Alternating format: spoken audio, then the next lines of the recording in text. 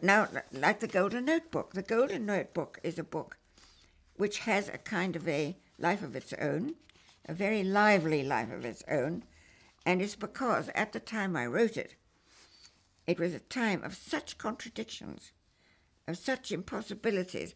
This is when uh, uh, all the comrades are finding out about uh, how awful the Soviet Union was. It was full of disappointment, sadness, anger. It was that was in the Golden Notebook, and that's the charge of the Golden Notebook. I know it. Other people will know it, but the people who read it now say, "How funny they're reprinting the Golden Notebook. What a funny." After all these years, well, I know why.